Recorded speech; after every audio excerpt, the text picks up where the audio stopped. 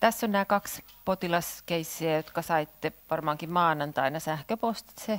Kuka on ehtinyt katsoa, niin voi sitten itsekseen miettiä, että menikö ajatuksen juoksu samalla tavalla kuin, kuin tässä vai näistä mielellään kyllä keskustellaan kanssa, mutta tämä ensimmäinen tapaus on tällainen 70-vuotias nainen, joka gastroenteritia kuivumistilan vuoksi otetaan sairaalaan ja aloitetaan nestehoito ja sitten hän alkaa voida paremmin, mutta neljä päivää myöhemmin siitä sairaalan tulosta niin nousee kuume ja sitten on tämmöistä alaselkäkipua ja sitten on, on tota, veren valkosoluarvo on vähän yläkantissaan ja virtsasta löytyy valkosoluja ja bakteereita ja sitten kliinikko, hoitava lääkäri ajattelee, että tämä on pyelonefriittiä ja aloittaa, aloittaa siihen tota, mikrobilääkehoidoksi piperasillinitatsobaktaamin. Pari päivää myöhemmin virtsa- ja veriviljelyssä ilmoitetaan E. coli-kasvu, herkkyyttä ei tiedossa ja sitten siitä päivän päästä niin potilas on jo hyvä vointinen, mutta mikrobilääkehoito jatkuu ja sinä päivänä sitten on tämä prevalenssitutkimus. Ja nyt tässä oli tota, kysymyksiä, että onko, onko tässä kyseessä hoitoon liittyvä infektio. Ja kyllähän tällä potilaalla on selkeät pyelonefrittiin sopivat oireet. Ja se aikajana, jos nyt katsotaan tästä tota, tapauskuvauksesta, niin tässä on, on vähintään se kolmas, kolmas päivä menossa, eli siinä on se neljän päivän väli siitä sairaalaan tulosta, kun ne oireet alkaa, niin on, on siis ilmennyt sairaalahoidon aikana yli 48 tuntia, eli vähintään kolmantena päivänä. Niin tuomio olisi, että on hoitoon liittyvä infektio tämä. No sitten tässä oli näitä virsatieinfektion tapausmääritelmiä. Mä otin ne tähän vaan, että käydään, käydään läpi, voidaan se vielä, vielä sitten varmistaa, että tämä täyttää nämä tapausmääritelmät. Ja nyt tämä ensimmäinen virtsatieinfektion tapausmääritelmä on mikrobiologisesti varmennetun, tai, tai määritelty niin, että se on mikrobiologisesti varmennettu. Ja määritelmän mukaan niin riittää yksi oire, joko kuume tai sitten tämmöiset virtsaamiseen liittyvät oireet, eli, eli inkontinenssi tai tihentynyt tarve tai kipu, kipu. Ja sitten sen oireen lisäksi niin virtsaviljelyssä on on tämmöinen merkittävä kasvu. Ei kuitenkaan enempää kuin kahta mikrobilajaa vielä tarkennettu, mutta tässä oli nyt se E. coli, että tämän perusteella tämä nyt täyttäisi tämän mikrobiologisesti varmennetun virtsatieinfektion määritelmän. No sitten jos meillä ei ole sitä mikrobiologista vastausta olemassa, niin silti voi, voi täyttää määritelmän. Silloin vaaditaan kaksi kliinistä oiretta näistä samasta, tästä samasta listasta ja mikä tahansa seuraavista, eli liuskatestin positiivisuus tota, tai sitten valkosoluja virtsassa tai sitten tota, gram-värjäyksessä mikrobeja tai, tai tota kahdessa, joo, sitten tässä on näitä tämmöisiä kvantitatiivisia määritelmiä, mutta tota, jos on vähäisempi, vähäisempi kasvu, niin silloin periaatteessa riittää, että on aloitettu hoito. Hoitavan lääkärin diagnoosi riittää määritelmän mukaan oireiden lisäksi. Ja sitten sit se, että on tosiaan aloitettu asianmukainen mikrobilääkitys. Et tässä nyt vaikka meillä ei sitä virtsaviljely tai sitä vastaustakaan olisi ollut, niin tässä olisi, olisi tota noin, niin silti täyttynyt, mutta silloin se olisi ollut tämä mikrobiologisesti varmentamaton, eli se eri koodi. No, tapausmääritelmä tässä kohtaa, kuten sanottu, niin tämä UTIA, mutta sitten kun tässä oli myös veriviljelyssä kasvu, niin silloin me saadaan tästä niin kuin kaksi infektiota ilmoitettavaksi. Eli silloin, silloin ilmoitetaan myös, myös BSI-koodilla. Tässä on sama bakteeri veressä ja virtsassa, niin silloin ilmoitetaan sen BSIin lähteeksi se virtsatieinfektio, mutta kuten todettu, niin ne molemmat kirjataan siihen eri erikseen, eli siinä on se kaksi paikkaa, niin ensimmäiseen voi laittaa sen UTIA ja toiseen PSI. Käydään niitä lomakkeen täyttöön niiden varsinaisten tapausharjoitusten yhteydessä. Okei. No tässä se onkin, joo. Unohdin jo, että se on täällä. Eli tota, vielä kertaalleen. Eli tässä on infektio 1, virtsatieinfektio. Vieras esine oli, oliko? Ei ole, ei ole ka, virtsakatetri on se katojen edeltäen, 12 päivä virtsakatetri, 16 päivä oireet, niin oli. Täytyy itsekin muistella. Ja tota, ei ollut infektio sisäänotettaessa alkupäivä, alkuperä sama sairaala potilasta ei ollut siirrelty eikä hän ollut ollut muussa sairaalassa edeltäen nykyinen osasto. Ja sitten täällä on tämä mikrobikoodi, se E-koolin koodi. Nyt meillä ei ole herkkyydestä mitään tietoa, niin sitten on merkitty, että unknown sillä koodilla. Sitten on se BSI. Tässä ei ole siis BSIhin liittyvää että ei ole, ei ole mainintaa keskuslaskimon katetrista. Siis perifeerinen katetrihan hänellä varmasti oli, mutta, mutta tota, se, siihen liittyvistä oireista ei ollut mitään raporttia, niin, niin, niin ei infektiosairaalaan sisään otettaessa ei ollut sama päivä, sama sairaala, nykyinen osasto ja sitten tässä on tämä lähdekoodi ja samat mik- mikrobiologiset määritelmät. Selvä. Ennen kuin mennään tapaukseen kaksi, onko, oletteko Emmin kanssa samaa mieltä vai onko jotain epäselvää tai erimielisyyttä? Vai mennäänkö seuraavaan? Kirsi? No ei varsinaista er, erimielisyyttä, mutta tuota, toi oli vaan niin kuin, täytyy toi, toi että kun sä sanoit, että tuossa PSissä ei ollut tota vierasesine, että, mutta et varmaan te sitten haette siinä niitä äh, verisuonikatetreja, siis vaikka toki asiassa... oli niin, että kyllähän niin. toi veriviljelypositiivinen infektio tuli siitä virtsakateterista, että toikin joutuu nyt mutta tämä on näköjään siis mä, mä itse asiassa nyt tässä tilanteessa mm. rupesin itse miettimään samaa, että siis mm. kyllähän, siis täällä ei nyt mainittu erikseen, erikseen tota, niin et, et lähteelle, että lähteelle pitäisi laittaa niin. periaatteessa tavallaan lähteelle vierase sinne. Niin, niin, eli siis tähän mm. mun mielestä nyt mm. kun mä tätä uudestaan ajattelen, niin tähän voisi hyvin laittaa että se on se virtsatiekatetri? Ei vaan, ei virtsatiekatetri, vaan niin. Mutta siis kun veriviljelyllähän tässä kysytään, sitä sehän pitäisi olla siis verisuonikatetri. Mutta onko siinä periaatteessa, niin kuin sanottu, niin siinä verisuonikatetrissa, niin tota, onko se vaan keskuslaskema? Miten se nyt sitten periaatteessa, katoppa nyt sieltä sitten. Eikö se ollut niin. siis sekä että? Siis onhan siinä perifeerinen ja keskuslaskemakatetri. Kaikkiahan niitä on. Mutta se ei ole kuitenkaan se... niin kuin periaatteessa tavallaan, niin kuin, se, se, se, se ei ole se on, tämä on kuitenkin periaatteessa lähde on se UTI, että sen pitäisi periaatteessa, niin, on, on. Niin, joo, mä, niin joo, sen pitäisi periaatteessa tota, olla sitten se Kumpi? P- PCV tai CVC, niin silloin periaatteessa tota, niin. Mm, mm, mm, mm. Joo, se, siis mutta ei, se tulee ton, ei virtsakatetria, ei. Mm. Ja, mutta se virtsakatetri tulee tuossa UTIissa, UTIissa ja sitten tavallaan, jos jos toi olisi erillinen toi niin. PSI ja, niin. tota, ja sille ei olisi virtsat vielä lähdettämään katetrin niin. lähde, niin sitten niin, siihen sit tulisi, siihen tulisi niin. jos se olisi edeltävästi. Niin. niin. Jos se on tavallaan niin kuin ollut sitten välittömästi ennen. Et tota, ja eikä ole muuta, ei ole, muuta, ei ole mitään muuta lähdettä sitten tietenkään Mut saa se, olla. Mm. Siinä tota, se on se, vähän... Mistä me löydetään nyt se potilaslomake tästä nopeasti? tota, uh, mulla on sitä. Täältä näin. Tää näin. Vai onko sulla... Niin, mutta sittenhän se ei mene tuonne etänä ollenkaan.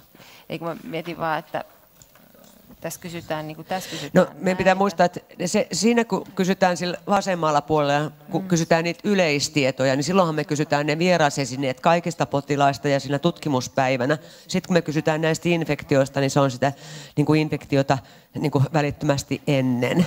ennen ja sitten se meni sen infektiotyypin mukaan, mitä, mistä, vieras, mistä vierasesineestä oltiin kiinnostuneita. Eikö niin? Niin, niin. joo. Että ne on niin kaksi, kaksi eri asiaa, että me saadaan tavallaan prevalenssi vierasesineiden käytölle sille vasemmalla puolella kaikista mm. potilaista, mm. ja sitten me saadaan tällä oikealla puolella, me saadaan tavallaan virtsatieinfektioille, mitkä liittyy virtsatie kertakatetrointiin tai sitten virtsatie niin kuin, niin kuin olleeseen katetriin välittömästi ennen tai sitten verisuonen tai intubaatio. Niin ne on niin kuin kaksi erityyppistä tietoa. Ne on todella rajattu niihin kolmeen niin, infektiotyyppi. Niin, niin. Joo. Siis, joo, siis BSissä Niin. niin. ollaan kiinnostuneita vaan siitä verisuonikatetrista, Niin, niin. kyllä. Ja nyt Joo. siis kun kyse on sekundäärinen... Niin, niin, Ja sitten tosiaan niin kuin sanottu, niin meillä on sitten, joo. Ja sitten tosiaan niin kuin sanottu, niin se, sehän tulee sitten siinä ö, verisuonikatetterin niissä tarkemmissa määritelmistähän se tulee se related Joo, ja siis se katetriin liittyvä infektio on sitten ihan... Se vielä- ihan, on ihan oma kapittelinsa. Tässä se on vaan tämmöinen niin altistava assosioitu tekijä, tekijä ei tarkka. Että tää on se, tässä on niin kuin monta tasoa. Että meillä on niin kuin kaikista potilaista, sitten meillä on tavallaan tämä edeltävä tälle PSV, PSI, CVC tai PCV, ja sitten meillä on se, ne, ne tarkat määritelmät. Mutta me palataan näihin vielä, näitä, näitä tulee uudestaan, koska nämä on ne, ihan ne just ne Joo. kaikista kimurintamme, kaikista vaikeimmat.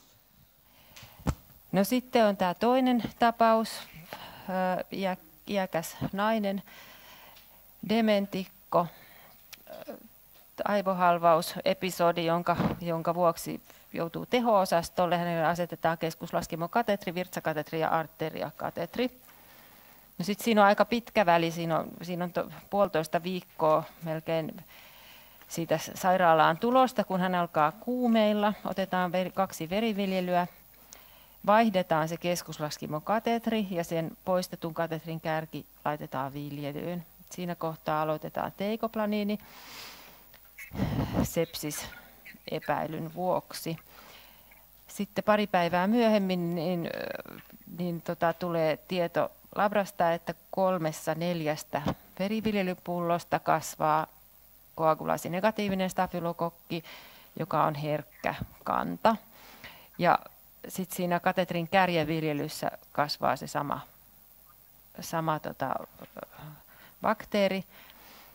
Ja tota, siinä kohtaa potilaan vointi on jo selvästi parempi, potilas on kuumeeton ja se antibioottihoito jatkuu. Ja siinä päivänä on sitten prevalenssitutkimus. No, tässä oli sitten, sitten kysymyksenä, että mikä tämän potilaan McCabe-luokitus on. Ja sitten kysyttiin, että mikä on hoitoon liittyvä infektio ja mikä sen tapausmääritelmä on. Mutta jos tästä McCabeista nyt aloittaa, aloittaa niin tässä oli just tämä, tämä, tämä dementia-asia, että se on mainittu siinä kuolemanvaara-osiossa siinä niin kuin 1-4 vuotta, tai miten se on siellä määritelty neljän vuoden sisällä. Ja tästä nyt sitten vaan valitaan se kohta. Näin.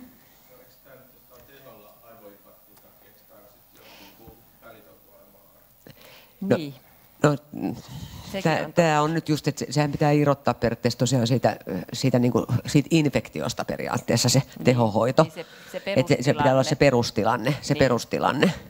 Niin, joo, tavallaan. Mutta sä oot ihan Et kun- oikeassa. Mm, meillähän voi olla periaatteessa... Me, mm. Ei, ei. Mm. Niin, niin, niin. Niin, että se olisi sitten se väli, välitön. Niin. No, se on se aivohalvaus on kyllä, kyllä mun mielestä tämä keippiä jo periaatteessa. Että, että tässä on, tämä nyt on mun mielestä, niin kuin, tätä voi nyt periaatteessa miettiä, että mä niin kuin itse näen, että tämä välitön kuolemanvaara on sellainen, josta me nyt, mä itse niin kuin mielän sen, että ne on ne potilaat, jotka kuolee sillä sairaalan reissulla, että sä niin kuin tavallaan niin kuin tiedät. Niin, niin, niin, että, ja mä tulkitsen tämän nyt, tämä on just semmoinen varmasti vähän ra, niin kuin rajatapaus. Niin kuin me ajatellaan tuota Alzheimer ja dementiakin, niin meillä on hyvin laaja kirjo siinä, että ei kaikki varma, välttämättä kuole neljä, vu, neljä vuoden sisään niistä, niistäkään. Että, mm. että mä niin kuin lähinnä tätä välitön kuolemanvaaraa on todella, niin kuin sanottu, niin ne on, ne on, jos katsoo niitä, niitä te, ne on niitä terminaalipotilaita ja hyvin todennäköisesti sillä reissulla kuolleita ja tosiaan niin kuin, no, että hoidot ei pure Niin. tyyliin. Niin, no ja tot- sitten katso niitä periaatteessa niitä ö, ö, teho, tehopisteytyksiäkin periaatteessa, mitä annettiin niille välitön kuormapaarapotilaille, niin tämä ehkä ei olisi saanut niitä kuitenkaan. Niin kuin sen perustilanteen takia. Vai? Niin, niin, joo joo, mm. mutta että tässä nyt on tää, tätä aivohalvauksia, tässä on vaan sanottu, että vaikea, niin kyllä mä mm. itse asiassa Niin, että on. en mä pidä sitä vääränä vaihtoehtona, Ei. että se voi sen Mutta gradeeraisi mut jos me katsotaan niitä, mitä Niin. sinne oli laittu se välitön kuolemanvaara, niin mitä siellä oli, niin katsotaan sitä listaa. Sairaus, niin, johon liittyy välitön Niin. niin. kuolemanvaara. Mm. Kyllä nyt paha aivohalvaus, niin voihan se johtaa, Niin, johtaa niin. kuolemaan. Mutta, Niin, ei. niin. Tämä on just varmasti näitä, just näitä rajatapauksia ja näissä on voi, ei ole välttämättä yhtä, yhtä oikeeta. Yhtä oikeeta. No, mutta tämä oli mm. nyt tämän dementia-asian takia, tämä oli varmaan Eikä, nostettu tähän harjoitukseen tämän dementian niin, takia. Eikä, että sen mm, muistaa. Mm, mutta tota, että se oli sen perus. Mm, kyllä. Mm, juu, juu. On, on, joo, on, on. Anne. Mm. Mm. Mm. Mm. Joo. Tähän nelos, mm. tähän nel- niin. Mulla, on, mulla on jotenkin, mä, mä en tiedä, yksi, yksi tulkintavaihtoehto on se, että tavallaan sä et ehkä moripundia potilasta tavallaan välttämättä niin kuin teho hoida. Että näinkin voisi periaatteessa ehkä ajatella. Niin, niin, niin, niin, niin. Joo, joo, joo että tätä nyt voi katsoa. Kyllä, mm. tämä, yes. on, tämä ei ole suomalainen mm. esimerkki, tämä on ulkomailta. Niin. tota, no niin, sitten tämä infektioasia, eli mikä se on ja tapausmääritelmä, niin tässä oli nyt sekä veressä että siinä katetrin kärjessä se koagulasinegatiivinen stafylokokki, jolloin se määritelmän mukaan menee sinne katetriin liittyvään infektioon. Ja tota, tässä on nyt niin kuin näitä, siellä oli kolme, kolmessa kategoriassa. Tässä on nyt tämä, tämä ensimmäinen, jossa ei ole positiivista veriviljelyä, eli se ei sovi tähän meidän keissiin nyt, mutta on, on tota, ää, paikallinen, niin katetrin juuressa tai tunnelissa on, on tulehduksen merkkejä ja sitten siitä keskuslaskimokatetrista viljellä, voidaan viljellä taudin aiheuttaja. Ja sitten tässä on niin keskuslaskimokatetri ja myös perifeeriseen katetriin voi liittyä. Tästä on pudonnut pois se slaidi siitä, siitä, tota, siitä äh, määritelmästä, missä tota, oli... Niin kuin... Joo, niin kuitenkin ne kategoriat periaatteessa menee Joo. niin, että meillä on niin sekä paikallisia että yleisoireisia, ja yleisoireisia on perivillypositiivisia ja ei, ei perivillypositiivisia. Ja sitten meillä on katetreita, perifeerinen ja sentraalinen. Et kun sitä katsoo, niin katetre, se näyttää kauhean monimutkaiselta, mutta todella Joo. se menee niin, että meillä on niin paikalliset ja niin paikallisoireiset, ja sitten meillä on tota, sitten on tosiaan niin kuin sanottu niin yleisoireet, ja meillä niin. on kahta sorttia katetria, ja sitten ne voi olla positiivisia tai negatiivisia. Tämä on, se, mm. tämä on se tavallaan, miten se lähtee, niin. Niin kuin, miten se on niin. rakentunut. Se, niin. että siinä on kyllä joku, jonkin sortin logiikka. Joo. Mutta tästä, mm. tästä nyt mm. se, se kakkosvaihtoehto, mm. eli että se, että on katetrista viljellään ja sitten on yleis, yleisoireet, niin, mutta ei veriviljelyä, mutta ei veriviljelyä niin, niin tota, positiivista, niin se Mutta sekin puuttuu. vaihtoehto on olemassa se siellä. on olemassa, mutta se mikä tähän mm. nyt sopii on se, että se veriviljely on positiivinen ja sitten sitä katetrista on viljelty, viljelty kanssa se pöpö. Mutta oli nyt näin. Joo. Voisin ehkä sen, sen pienen lisän ennen Kirsi sanonut sen, että muistakaa sitten se, että, että, että katetrin kärkiä ei noterata sellaisenaan, että sulla pitää periaatteessa tavallaan se olla sitten verestä se, ennen kuin se tavallaan katetrin kärki viljely niin kuin noterataan. Että pelkkä katetrin kärki ei niin kuin johda tai mihinkään raportointiin. Niin. Tai ne oireet. Niin, niin, niin. Katetrin kärki ja oireet. Niin. Niin, niin. Kirsillä oli jotain. Niin. Eli täällä, oliko... Niin.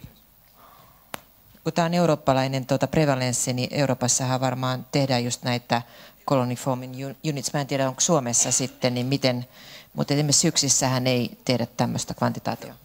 No tässä, tässä just, me palataan tähänkin asiaan, että mitä tuot voi periaatteessa ottaa tavallaan esille. Että todella näitä, olimme, puhumme siitä pneumoniamääritelmästä, niistä kvantitatiivisista tai näistä katetri, katetriasioista, niin näitä ei periaatteessa meillä ole niin kuin sanottavammin mun käsityksen mukaan niin kuin käytössä. Että täältä täältä tota, näistä katet, kateteihin liittyvistä infektioista, niin se on se lähinnä se kärki, tai sitten tavallaan, että on otettu samaan aikaan veriviljely ja mm. sitten katetrin kautta. Mutta palataan vielä tähänkin, mutta todella niin kuin sanot, että kvantitatiiviset voi niin käydä katsoen unohtaa. Mä viimeksi taisin silloin 2011 sanoa, että oli se sitten pneumoniassa, niin kaksi kategoriaa, tai sitten täällä nämä, nämä kvantitatiiviset, niin tuskin, tuskin niitä missään otetaan. Että ne on näitä semikvantitatiivisia katetrin kärkiä, jota, jota voi katsoa, mutta todella niin kuin sanottu, niin se, että hoidettuaan potilaan niin kärkiviljelyä, niin se ei niin kuin johda vielä mihinkään. Et siihen pitää linkata veriviljely tai tosiaan, mitä Emmi sanoi, tosiaan niin kuin sanottu, niin näistä oireista. Että siinä...